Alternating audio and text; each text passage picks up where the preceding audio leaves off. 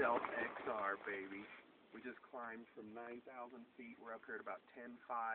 No problem. About 15 minutes. Handles the hills. There's no better way. There's no time for gas powered anymore. It's all electric. We're coming up quiet, getting into our elk hunting area. Bulls don't even know we're here. We're here to stay.